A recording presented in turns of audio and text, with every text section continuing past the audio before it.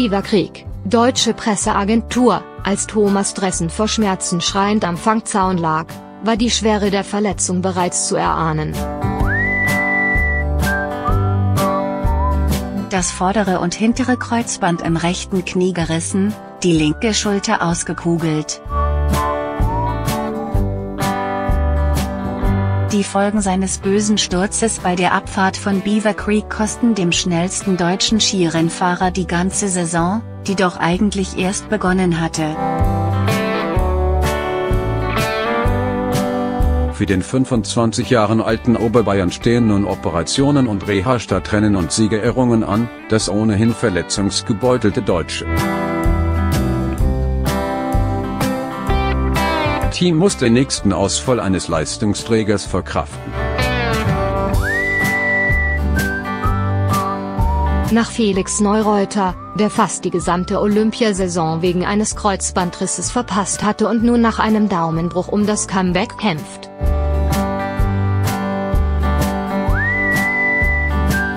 Verliert der Deutsche Skiverband, DSV, seinen zweiten Star.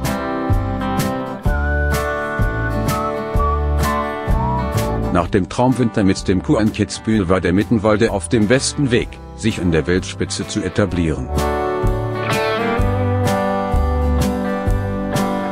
Am vorigen Wochenende in Lake Louise fuhr er in der Abfahrt und im Super-G auf die beachtlichen Ränge 7 und 9. Damals hatte er gesagt, für mich ist wichtig, dass ich mich unter den ersten 10 etabliere und hauptsächlich gesund bleibe.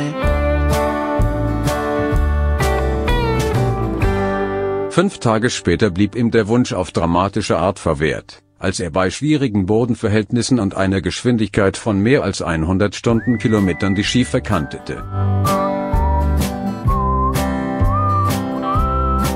Zu Fall kam und ungebremst in das Sicherheitsnetz krachte. Im Fernsehen waren Dressens Leiden zu hören und zu sehen, der 100 Kilogramm Athlet lag im Schnee. Schrie und stöhnte, die Brille von den Augen gerissen, nur noch der linke Ski am Fuß. Nach minutenlanger Behandlung konnte Dressen dann zwar gestützt von Betreuern aufstehen. Ins Tal aber wurde er von zwei Sanitätern mit dem Rettungsschlitten gebracht. Die Zuschauer an der WM-Strecke von 2015 applaudierten aufmunternd. Das ist natürlich sehr, sehr bitter, sagte Teamkollege Andreas Sander im Ziel, als die niederschmetternde Diagnose noch ausstand.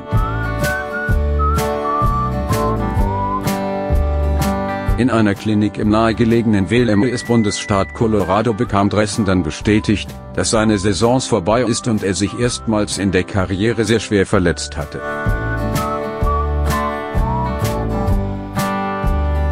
Bislang war er verschont geblieben, eine Kopfverletzung nach einem Zusammenstoß 2007 und Knochenprellungen in beiden Kniegelenken 2013.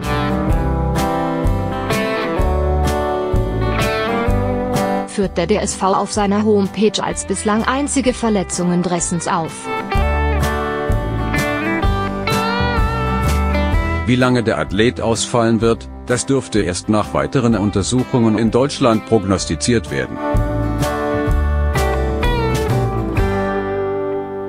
Vor fast genau einem Jahr riss sich Neureuter beim Training in Copper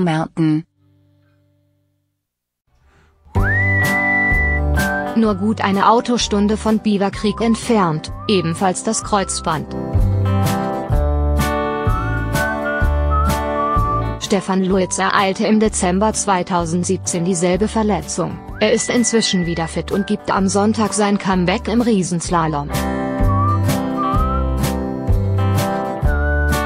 Neureuter kämpft mit den Folgen eines Daumenbruchs, den er sich im Training in Finnland Mitte November zugezogen hatte. Dressen sollte noch am Wochenende zurück nach München fliegen, dann werde entschieden, wann, wie und wo er operiert wird. vor dem Rennen in Beaver Creek,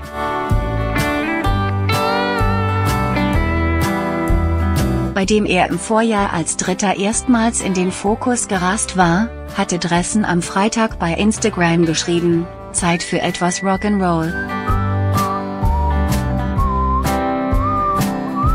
Ausrufezeichen nun wird er lange warten müssen, bis er wieder die Abfahrtspisten im Weltcup rocken kann.